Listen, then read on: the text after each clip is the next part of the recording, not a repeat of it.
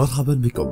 بعدما قدمنا لكم في الفيديو السابق بعضا من التحديات الخطيرة التي لا ينبغي أن تقوم بها بواسطة ال spinner سنقدم لكم اليوم خمسة نماذج رائعة لعمل spinner في منزلك دون الحاجة إلى أن تشتريه من المحلات.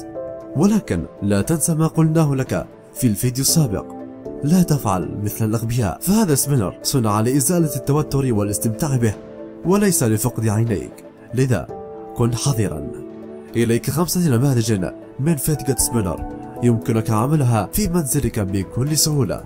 خامسا spinner ال lava لعمل مثل هذا ال spinner يجب أن تحضر نموذجا من ال plasticine بالإضافة إلى السكر والماء وأيضا ملون طعام أحمر. الطريقة سهلة للغاية. قم بمزج جميع المكونات سويا لتسخينها لعدة دقائق حتى تغلي. بعد ذلك قم بإحضار نموذج البلاستيسين وقم بصب الخليط به بعناية شديدة.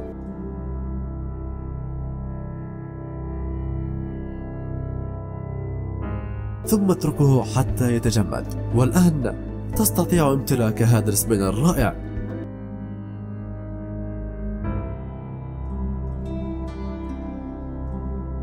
رابعا spinner الغاليوم. يعتبر من أسهل السبينرات التي يمكنك عملها. تحتاج نموذجا من ال plasticine وواضعا للكرة ومحقنة ومعدن الغاليوم لا تقلق يمكنك الحصول عليه بكل سهولة. قم بوضع معدن الغاليوم في إناء به مياه ساخنة واتركه حتى ينصهر.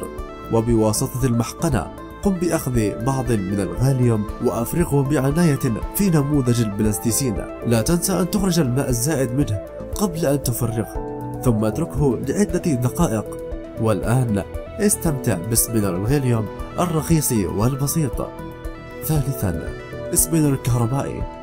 ليعمل spinner كهربائي مثل هذا أحضر نموذج plasticine واضعا الكرة السكر. قلم رصاص به أشعة فوق البنفسجية. ماء بالإضافة إلى ملون طعام أزرق. الآن قم بخلط السكر مع الماء مع اللون الأزرق. وقم بتسخينهم حتى يغلوا. بعد ذلك قم بصب الخليط الناتج في نموذج ال plasticine وضع واضع الكرة في المنتصف. والآن قم بإضافة قلم الرصاص المضيء بالأشعة الفوق بنفسجية لتغيير اللون بشكل لا يصدق. ثانيا spinner متعدد الأحجام. فقط ما سنحتاجه في هذا ال spinner هو واضعا الكرة ولكن بأحجام مختلفة ويمكنك شرائه بكل سهولة من المحلات المتخصصة في تصنيعه. بعد إحضارك لهذا الوضع قم بتركيب الأكبر ثم الأصغر حتى تحصل على هذا الشكل الذي لا يصدق وهو أسرع من الإسبنر العادي. وبالطبع ستندهش من إمكانياته الرائعة فيمكنه الدوار لمدة أكثر من تسعة دقائق مستمرة بسرعة كبيرة. واحد. سبينر النحاسي.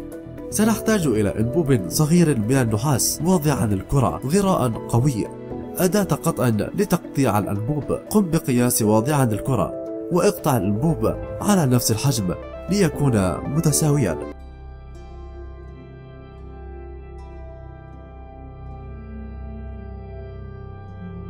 قم بحك الأجزاء المتقطعة لكي تلمع بهذا الشكل. قم بتجميعهم على شكل سداسي. واربطهم بسلك لكي يتم لحامهم جيدا. ويمكنك أيضا لحامهم بواسطة غراء قوية فهذا خيارك أنت. إذا كنت تمتلك الكثير من واضع الكرة يمكنك وضعهم بجميع الفراغات وتشكيله على حسب ما ترغب. هذا السبين الرائع يمكنه الدوران لأكثر من دقيقتين بكل سهولة. والآن قد حصلت على نماذج رائعة من هذا ال spinner أرجو أن أكون قد وفيت في تقديم المعلومات المفيدة لك. ولا تنسى دائما. لا تكن كالأغبياء. ال spinner صنع للاستمتاع به وليس لفقد عينيك. إلى اللقاء. إن أعجبك هذا الفيديو قم بالضغط على زر ال like وقم بالاشتراك في القناة.